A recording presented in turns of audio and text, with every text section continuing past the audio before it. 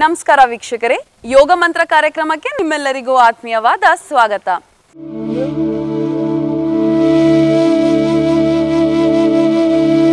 Parshvottanasana variation one. ಈಗ ಎಡಗ ಎಡಪಾದವನ್ನ ಎಡಗಡೆ ತಿರುಗಿಸಿ ನಿಮ್ಮ ಅಪ್ಪರ್ ಬಾಡಿಯನ್ನ ಲೆಫ್ಟ್ ಸೈಡ್ ಟ್ವಿಸ್ಟ್ ಮಾಡಿ ಉಸಿರು ತಗೊಳ್ತಾ ಸ್ಲೈಟಾಗಿ ಹಿಂದೆ ಬೆಂಡ್ ಆಗಬೇಕು. ಉಸಿರು ಬಿಡ್ತಾ ನಿಧಾನವಾಗಿ ಫಾರ್ವರ್ಡ್ ಬೆಂಡ್ ನಿಮ್ಮ ಹಣೆಯನ್ನು ನಿಮ್ಮ ಎಡಮಂಡಿಯವರೆಗೂ ತರಬೇಕು. ಇಲ್ಲಿ ನಿಮ್ಮ ಎಡಮಂಡಿ ಸ್ಟ್ರೇಟಾಗಿರಬೇಕು ಐದರಿಂದ ಹತ್ತು ಬಾರಿ ದೀರ್ಘ ಉಸಿರಾಟ.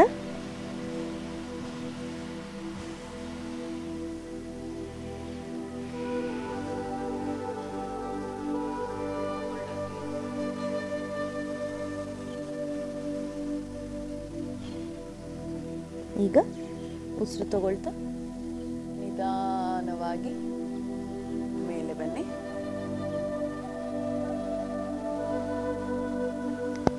ಬಲಗಾಲನ್ನ ಮುಂದಕ್ಕೆ ತನ್ನಿ. ತಾಡಾಸನ.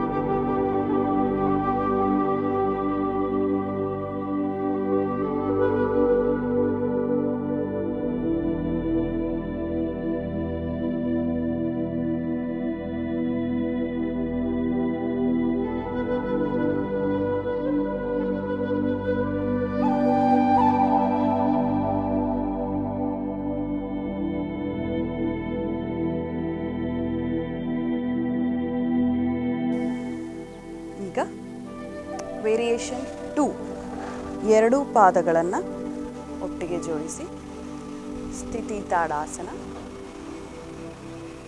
ಪ್ರಣಮಾಸನ, ನಿಧಾನವಾಗಿ ನಿಮ್ಮ ಎರಡೂ ಕೈಗಳನ್ನು ನಿನ್ನ ಹಿಂದೆ ತಗೊಂಡು ನಮಸ್ಕಾರ ಮುದ್ರವನ್ನು ಮಾಡಬೇಕು.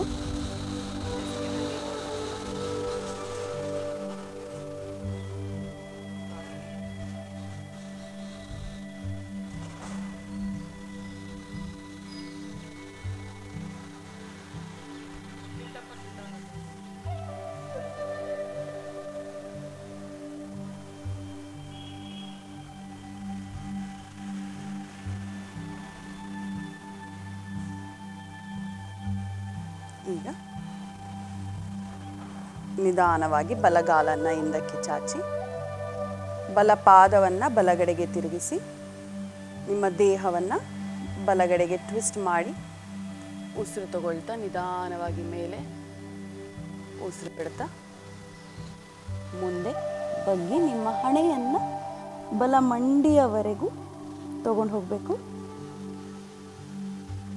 ಇಲ್ಲಿ ಐದರಿಂದ ಹತ್ತು ಬಾರಿ ದೀರ್ಘ ಉಸಿರಾಟ.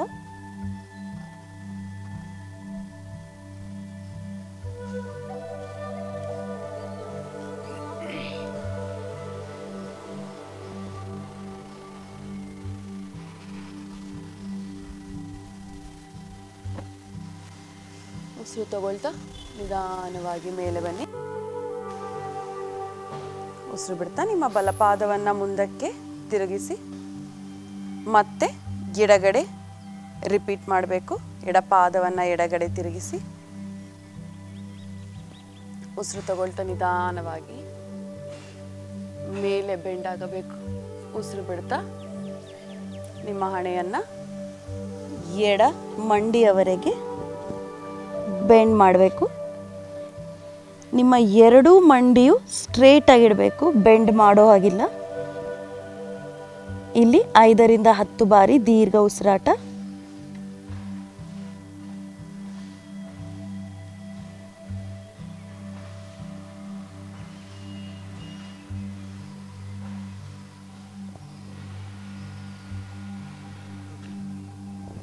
ಉಸಿರು ತಗೊಳ್ತಾ ನಿಧಾನವಾಗಿ. ಮೇಲೆ ಬನ್ನಿ. ಉಸಿರು ಬಿಡ್ತಾ ಕೈಗಳನ್ನು ಪ್ರಣಾಮಾಸನದಲ್ಲಿ ಇರಿಸಿ. ಅಲ್ಲಿಂದ ಹಿಂದೆ ಬರಲ ತಿರ್ಗಾ?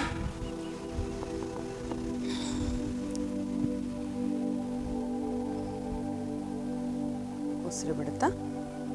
ನಿಧಾನವಾಗಿ ಕಾಲನ್ನು ಮುಂದಕ್ಕೆ ತನ್ನಿ. ಪ್ರಣಮಾಸನ ತಾಡಾಸನ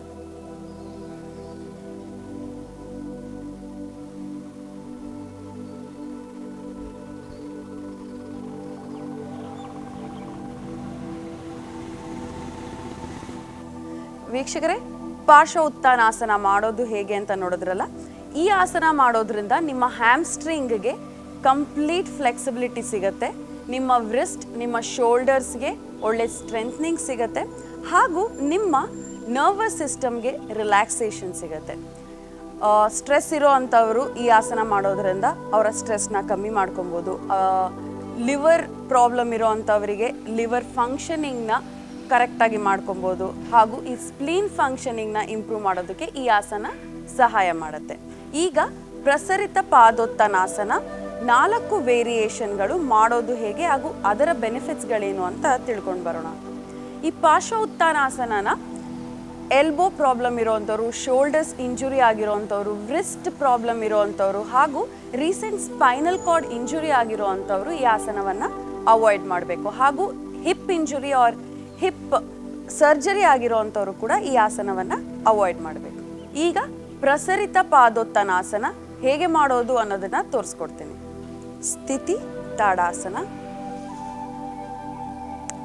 ಪ್ರಣಮಾಸನ, ನಿಮ್ಮ ಬಲಗಾಲನ್ನು ಹಿಂದಕ್ಕೆ ಚಾಚಿ, ನಿಮ್ಮ ಎರಡೂ ಕೈಗಳನ್ನು ಭುಜದ ಲೆವೆಲ್ಗೆ ತರಬೇಕು.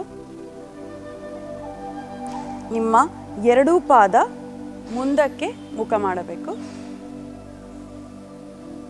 ನಿಮ್ಮ ಕೈಗಳನ್ನು ಸೊಂಟದ ಮೇಲೆ ಇರಿಸಿ, ಉಸಿರು ತಗೊಳ್ತಾ ನಿಧಾನವಾಗಿ ಹಿಂದೆ ಬಗ್ಗಿ, ಉಸಿರು ಬಿಡ್ತಾ ನಿಧಾನವಾಗಿ ಮುಂದಕ್ಕೆ ಬಗ್ಗಬೇಕು.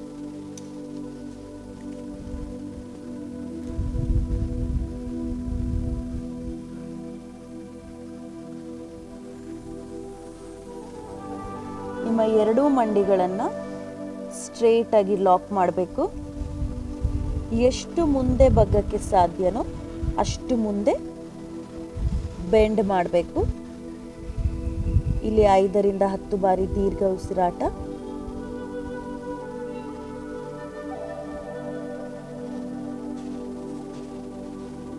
ಈ ಆಸನ ನಿಮ್ಮ ಬ್ರೈನ್ಗೆ ಒಳ್ಳೆ ಬ್ಲಡ್ ಸರ್ಕ್ಯುಲೇಷನನ್ನು ಕೊಡುತ್ತೆ. ಹಾಗೂ ಮೈಂಡನ್ನು ಕಾಮಾಗಿಡೋದಕ್ಕೆ ಸಹಾಯ ಮಾಡುತ್ತೆ. ಉಸಿರು ತಗೊಳ್ತಾ ನಿಧಾನವಾಗಿ ಮೇಲಕ್ಕೆ ಬನ್ನಿ. ಉಸಿರು ಬಿಡ್ತಾ ಮುಂದೆ ದೃಷ್ಟಿ. ಎಡ ಪಾದವನ್ನ ಎಡಗಡೆ ತಿರುಗಿಸಿ ಬಲಗಾಲನ್ನ ಮುಂದಕ್ಕೆ ತನ್ನಿ. ತಾಡಾಸನ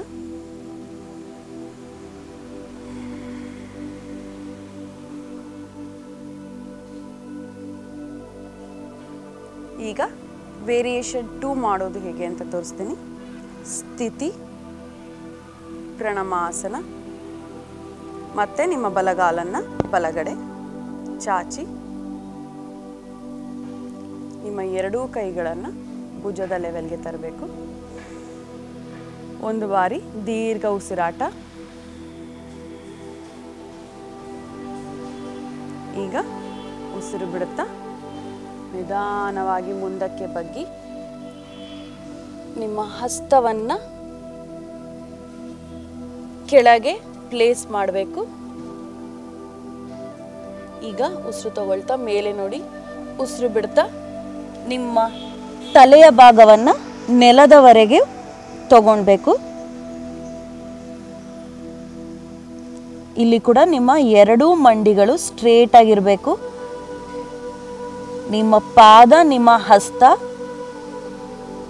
ಸ್ಟ್ರೇಟ್ ಲೈನಲ್ಲಿರಬೇಕು ಹಾಗೂ ನಿಮ್ಮ ತಲೆಯ ಭಾಗವನ್ನು ಹಸ್ತದ ಮಧ್ಯದಲ್ಲಿ ಊರಬೇಕು.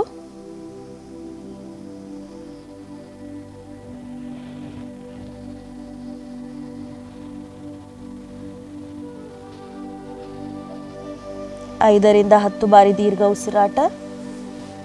ಉಸಿರು ತಗೊಳ್ತಾ ನಿಧಾನವಾಗಿ ಮೇಲೆ ಬನ್ನಿ. ನಿಮ್ಮ ಪಾದಗಳನ್ನು ಸ್ವಲ್ಪ ಒಳಗೆ ತನ್ನಿ. ಎರಡೂ ಕೈಗಳನ್ನು ಸೊಂಟದ ಮೇಲೆ ಇರಿಸಿ ಉಸಿರು ತಗೊಳ್ತಾ ಮೇಲೆ. ಎಡಪಾದವನ್ನು ಎಡಗಡೆ ತಿರುಗಿಸಿ, ಬಲಗಾಲನ್ನು ಮುಂದಕ್ಕೆ ತನ್ನಿ. ತಾಡಾಸನ.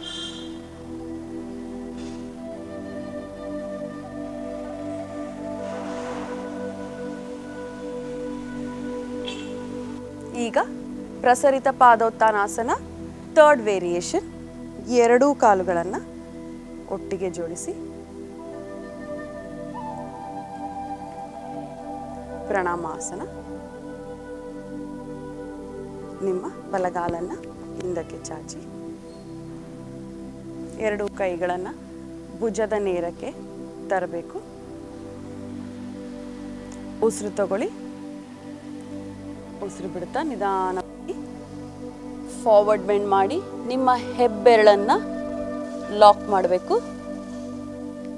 ನಂತರ ನಿಮ್ಮ ತಲೆಯನ್ನು ಆದಷ್ಟು ನೆಲದವರೆಗೆ ತಗೊಂಡು ಹೋಗಬೇಕು.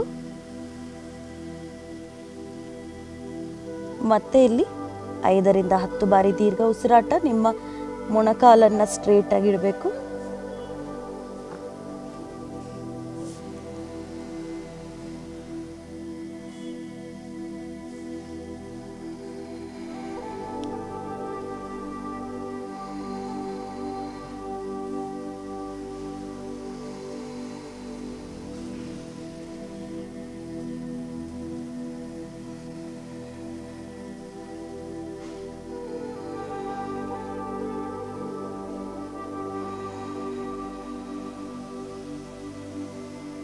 ಆಯ್ತಾ? ಈಗ ಉಸಿರು ತಗೊಳ್ತಾ ನಿಧಾನವಾಗಿ ಮತ್ತೆ ಮೇಲೆ ಬನ್ನಿ. ಎಡಪಾದವನ್ನು ಎಡಗಡೆ ತಿರುಗಿಸಿ, ಬಲಗಾಲನ್ನು ಮುಂದಕ್ಕೆ ತನ್ನಿ. ತಾಡಾಸನ.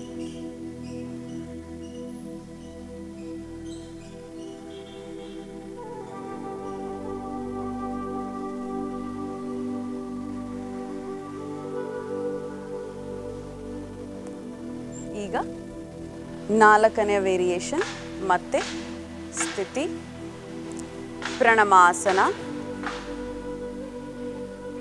ನಿಮ್ಮ ಬಲಗಾಲನ್ನ ಮತ್ತೆ ಹಿಂದಕ್ಕೆ ಚಾಚಿ. ನಿಮ್ಮ ಎರಡೂ ಕೈಗಳನ್ನು ಹಿಂದಕ್ಕೆ ತಗೊಂಡು ಇಂಟರ್ಲಾಕ್ ಮಾಡಬೇಕು. ನಿಮ್ಮ ಎರಡೂ ಕೈಗಳನ್ನು ಹಿಂದಕ್ಕೆ ತಗೊಂಡು ಬೆರಳುಗಳನ್ನು ಇಂಟರ್ಲಾಕ್ ಮಾಡಿ.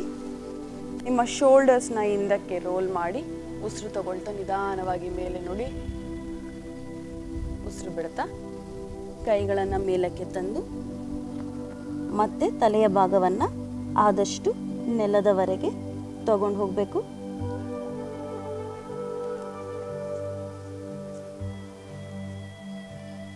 ನಿಮ್ಮ ಮೊಣಕೈಗಳನ್ನು ಸ್ಟ್ರೈಟ್ ಆಗಿಡಬೇಕು ನೆಕ್ ಮಸಲ್ಸ್ನ ರಿಲ್ಯಾಕ್ಸ್ ಆಗಿಡಿ, ಎರಡೂ ಮಂಡಿಗಳನ್ನು ಸ್ಟ್ರೇಟ್ ಆಗಿಡಿ. ಐದರಿಂದ ಹತ್ತು ಬಾರಿ ದೀರ್ಘ ಉಸಿರಾಟ.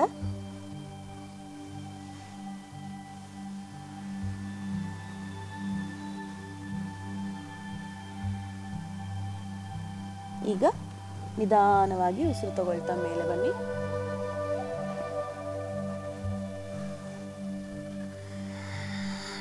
ಎಡಪಾದವನ್ನು ಎಡಗಡೆ ತಿರುಗಿಸಿ ಬಲಗಾಲನ್ನು ಮುಂದಕ್ಕೆ ತನ್ನಿ.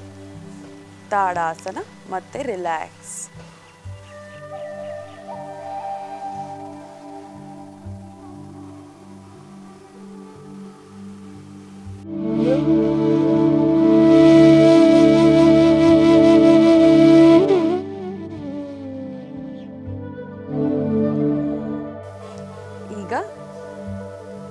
ಎಡಗ ಎಡಪಾದವನ್ನು ಎಡಗಡೆ ತಿರುಗಿಸಿ, ನಿಮ್ಮ ಅಪ್ಪರ್ ಬಾಡಿಯನ್ನು ಲೆಫ್ಟ್ ಸೈಡ್ ಟ್ವಿಸ್ಟ್ ಮಾಡಿ, ಉಸಿರು ತಗೊಳ್ತಾ ಸ್ಲೈಟಾಗಿ ಹಿಂದೆ ಬೆಂಡ್ ಆಗಬೇಕು. ಉಸಿರು ಬಿಡ್ತಾ ನಿಧಾನವಾಗಿ ಫಾರ್ವರ್ಡ್ ಬೆಂಡ್ ನಿಮ್ಮ ಹಣೆಯನ್ನು ನಿಮ್ಮ ಎಡಮಂಡಿಯವರೆಗೂ ತರಬೇಕು. ಇಲ್ಲಿ ನಿಮ್ಮ ಎಡಮಂಡಿ ಸ್ಟ್ರೇಟ್ ಆಗಿರಬೇಕು. ಐದರಿಂದ ಹತ್ತು ಬಾರಿ ದೀರ್ಘ ಉಸಿರಾಟ.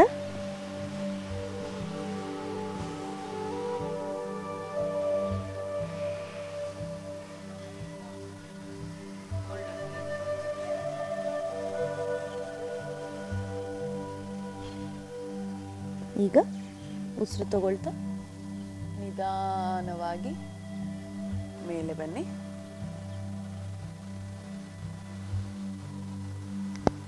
ಬಲಗಾಲನ್ನ ಮುಂದಕ್ಕೆ ತನ್ನಿ ತಾಡಾಸನ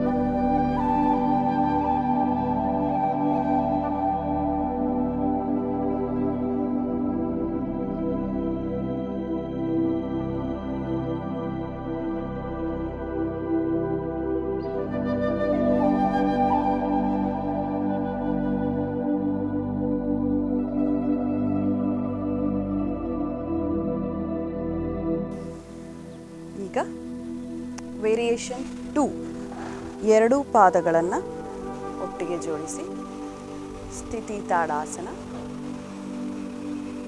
ಪ್ರಣಮಾಸನ.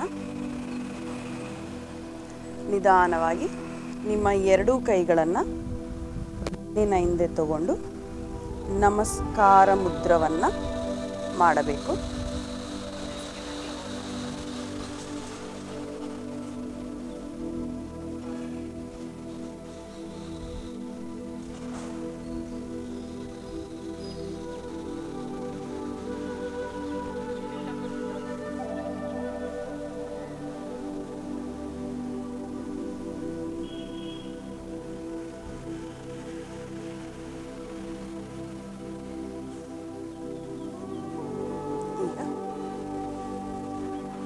ನಿಧಾನವಾಗಿ ಬಲಗಾಲನ್ನು ಹಿಂದಕ್ಕೆ ಚಾಚಿ ಬಲ ಪಾದವನ್ನು ಬಲಗಡೆಗೆ ತಿರುಗಿಸಿ, ನಿಮ್ಮ ದೇಹವನ್ನು ಬಲಗಡೆಗೆ ಟ್ವಿಸ್ಟ್ ಮಾಡಿ, ಉಸಿರು ತಗೊಳ್ತಾ ನಿಧಾನವಾಗಿ ಮೇಲೆ ಉಸಿರು ಬಿಡ್ತಾ ಮುಂದೆ ಬಗ್ಗಿ ನಿಮ್ಮ ಹಣೆಯನ್ನು ಬಲ ಮಂಡಿಯವರೆಗೂ ತಗೊಂಡು ಹೋಗಬೇಕು. ಇಲ್ಲಿ ಐದರಿಂದ ಹತ್ತು ಬಾರಿ ದೀರ್ಘ ಉಸಿರಾಟ.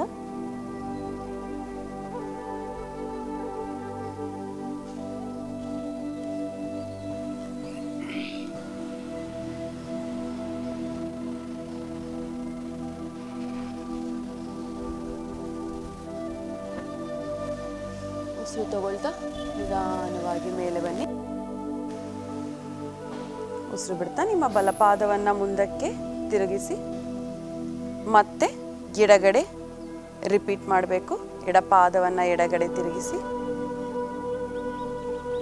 ಉಸಿರು ತಗೊಳ್ತಾ ನಿಧಾನವಾಗಿ ಮೇಲೆ ಬೆಂಡಾಗಬೇಕು ಉಸಿರು ಬಿಡ್ತಾ ನಿಮ್ಮ ಹಣೆಯನ್ನು ಎಡ ಮಂಡಿಯವರೆಗೆ ಬೆಂಡ್ ಮಾಡಬೇಕು.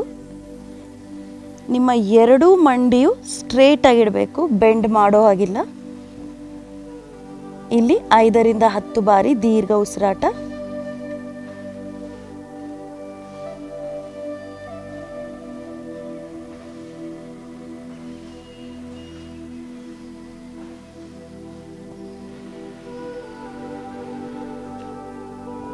ಉಸಿರು ತಗೊಳ್ತಾ ನಿಧಾನವಾಗಿ.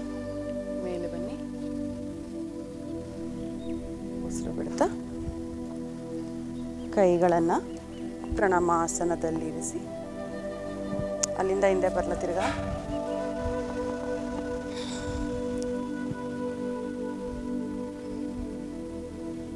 ಉಸಿರು ಬಿಡುತ್ತಾ? ನಿಧಾನವಾಗಿ ಕಾಲನ್ನು ಮುಂದಕ್ಕೆ ತನ್ನಿ. ಪ್ರಣಮಾಸನ ತಾಡಾಸನ.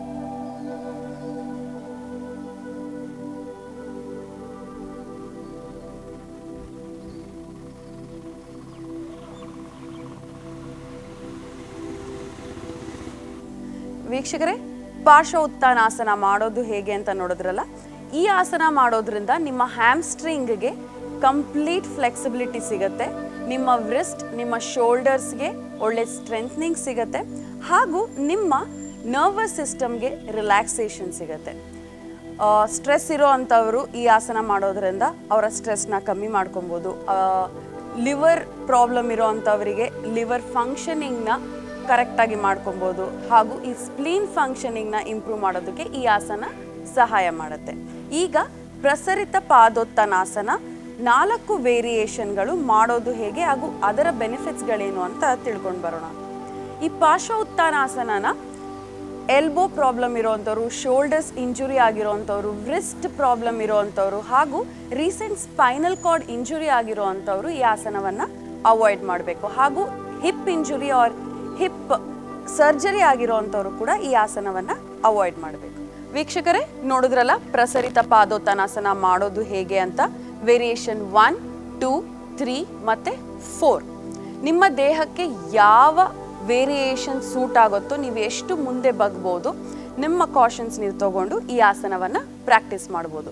ಈ ಆಸನ ಮಾಡೋದ್ರಿಂದ ನಿಮ್ಮ ಹ್ಯಾಮ್ಸ್ಟ್ರಿಂಗ್ಸ್ಗಳಿಗೆ ಹಾಗೂ ನಿಮ್ಮ ಹಿಪ್ಸ್ಗಳಿಗೆ ಒಳ್ಳೆ ಫ್ಲೆಕ್ಸಿಬಿಲಿಟಿ ಸಿಗುತ್ತೆ. ನಿಮ್ಮ ಮಂಡಿಗೆ ಒಂದು ಒಳ್ಳೆ ಸ್ಟ್ರೆಂತ್ನಿಂಗ್ ಸಿಗುತ್ತೆ. ನಿಮ್ಮ ನರ್ವಸ್ ಸಿಸ್ಟಮ್ಗೆ ರಿಲ್ಯಾಕ್ಸ್ ಮಾಡೋದಕ್ಕೆ ಈ ಆಸನ ಬಹಳನೇ ಸಹಾಯ ಮಾಡುತ್ತೆ. ಹಾಗೂ ಆಂಗ್ಸೈಟಿ ಮತ್ತು ಸ್ಟ್ರೆಸ್ ಇರುವಂಥವರಿಗೆ ಈ ಆಸನ ಮಾಡೋದು ಬಹಳನೇ ಮುಖ್ಯಕರ ಯಾರಿಗೆ ಹಿಪ್ ಇಂಜುರಿ ಆಗಿದೆ ಹಾಗೂ ಹೈ ಬಿ ಪಿ ಇದೆ, ಈ ಆಸನವನ್ನು ಅವರು ಅವಾಯ್ಡ್ ಮಾಡಬೇಕು. ಮತ್ತು ಮೆನ್ಸ್ಟ್ರಲ್ ಸೈಕಲ್ ಟೈಮು ಪ್ರೆಗ್ನೆನ್ಸಿ ಟೈಮ್ನಲ್ಲಿ ಈ ಆಸನವನ್ನು ಅವಾಯ್ಡ್ ಮಾಡಬೇಕು. ಸೊ ವೀಕ್ಷಕರೇ, ಇವತ್ತಿನ ಸಂಚಿಕೆ ನಿಮ್ಮೆಲ್ಲರಿಗೂ ಇಷ್ಟ ಆಗಿದೆ ಅಂತ ಭಾವಿಸ್ತೀರಿ. ಮತ್ತೆ ಮುಂದಿನ ಸಂಚಿಕೆಯಲ್ಲಿ ಮತ್ತಷ್ಟು ಆಸನ ಹಾಗೂ ಅದರ ಬೆನಿಫಿಟ್ಸ್ಗಳೊಂದಿಗೆ ನಾನು ನಿಮ್ಮನ್ನು ಭೇಟಿಯಾಗ್ತೀನಿ. ಅಲ್ಲಿವರೆಗೂ ನೋಡ್ತಾ ಇರಿ ಅಮೋಕ್ ಟಿವಿ ನಮಸ್ತೆ.